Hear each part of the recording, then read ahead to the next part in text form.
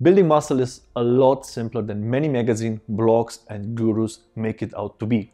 In fact, a barbell along with some plates, a workout bench and a squat rack are usually enough to do the job. All good personal trainers know this, which is why their beginner workouts are built around the four most important muscle building exercises. The magic word here is compound exercises. They utilize multiple joints, and are usually performed using free weights instead of machines.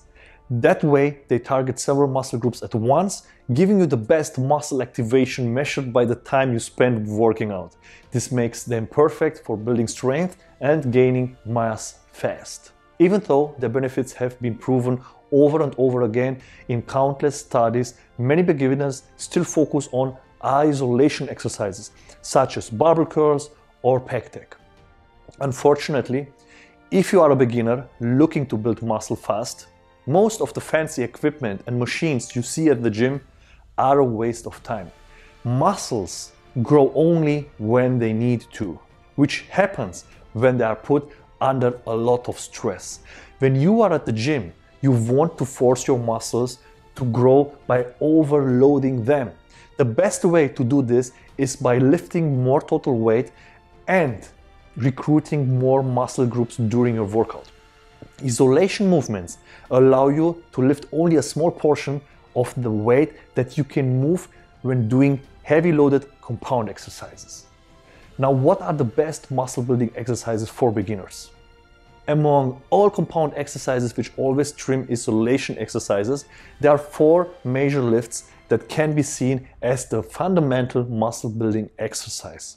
They are squats, bench press, deadlifts, and the overhead press. Together, they will put you on the fast track towards muscle growth. When looking for a good workout to get you started as a beginner, make sure your program builds around these exercises. If you already included these four exercises in your workout but aren't satisfied with the results, you might want to put more emphasis on them that others doing your routine. But what makes this four lifts so special? When we look at muscle activation, all four can be considered not only compound exercises, but full body exercises.